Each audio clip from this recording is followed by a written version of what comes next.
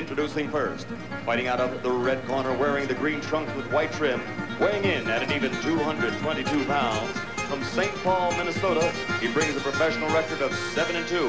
Five of his victories are by knockout. Ladies and gentlemen, Irish Bill Corrigan.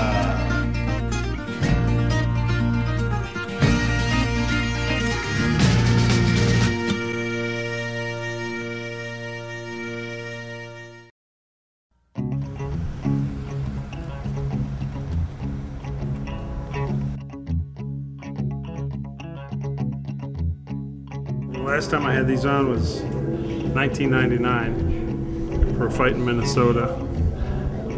Three months before the fight, I started training just to get in shape, and ended up they needed an extra fight, so I took the fight. That was my last fight in '99. I won second round knockout. Hadn't been back since.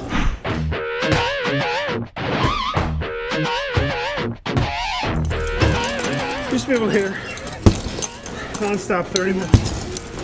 Do this for 30 minutes, jump rope for 30 minutes. Now I'm pushing for three. It looks like the bag's winning.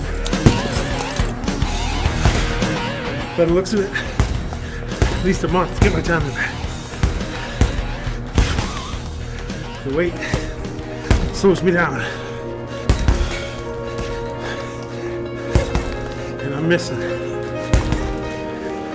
It's hard to imagine having 100 plus pounds to get rid of just to get back to normal. I lost uh, 65 pounds to fight Weaver, and that was uh, three months. That wasn't nearly. I can still spar, I can still hit these bags without breathing like this. I gotta do it. Forget about fighting, I gotta do it so I, for my health, my family.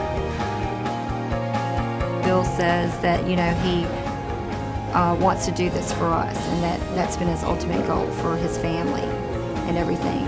And I'm really glad that that's um, how he thinks and what he wants to do. I think that's really great.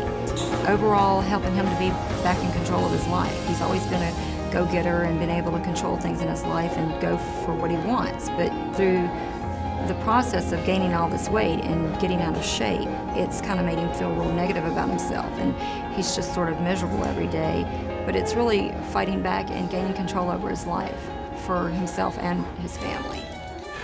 Just from working out today, I can feel it my elbows, my joints, my shoulders. Threw a few punches and missed. Extended my elbows.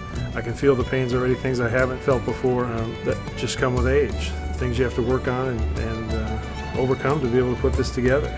And you know, you do have to change your training philosophy a little bit and uh, take better care of your body. Too late to go back and do it, so you got to do it now and progress your training to keep your body able to do it, so you can get up every day and keep at it. Other than uh, you know, if you try and kill yourself in one day and do everything you can, you're going to stop. And that's one of the problems most people have with any weightlifting or new fitness routine. They go gung ho and they hurt themselves or can't get up the next morning and then they stop. So we got to kind of progress into this slowly and, and take it gradual and build up to the, the big event.